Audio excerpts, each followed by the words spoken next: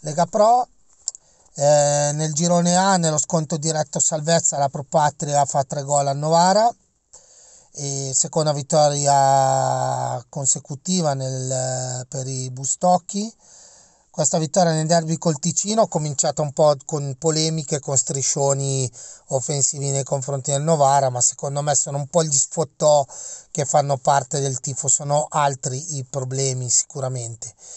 Eh, L'Atalanta perde in casa col Trento, insomma risultati un po' provercelli per le carre correnate, il Mantova è primo, ci sono sempre lì attaccate Padova, Vicenza e Triestina che cercano di agguantare il primo posto per poter risalire. Nel girone B c'è una lotta a due punti di distanza tra Cesena e Torres, stando attenti comunque a squadre come il Pescara che potrebbero ritornare di nuovo all'attacco. Peccato per la posizione di classifica della SPAL che veramente sta soffrendo di nuovo e sta rischiando purtroppo ancora la retrocessione. La SPAL è una di quelle squadre che serve alla Lega Pro. Mentre invece nel girone C una super Juve Stabia che continua, nonostante il pareggio 2-2 in casa, continua a mantenere la vetta con una Casertana una, e un Picerno che un pochino arrancano ma tendono a mantenere il passo